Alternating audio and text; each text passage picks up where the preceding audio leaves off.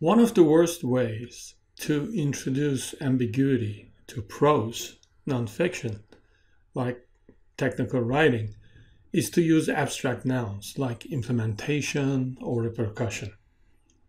A great many of such abstract nouns are derived from verbs by adding ion, shin suffix to the infinitive form, like implementation from to implement. If you think about it for a second, I'm sure you'll be able to come up with lots of examples on your own.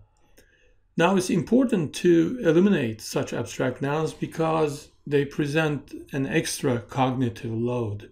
It's not easy to really understand what the writer is talking about.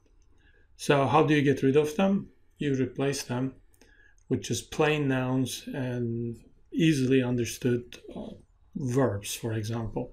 Here's a sentence with two abstract nouns. What are the repercussions of our implementation of this? So, repercussions, implementation, all abstract nouns because they can mean so many different things.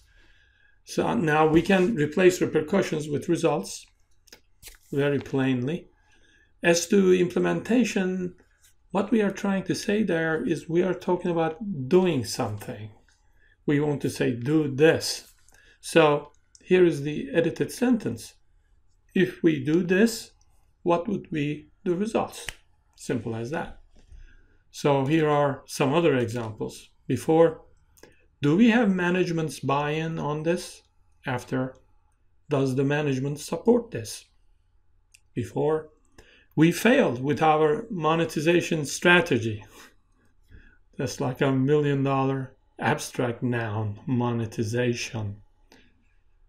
Uh, after we couldn't make any money. That's what we are plainly trying to say.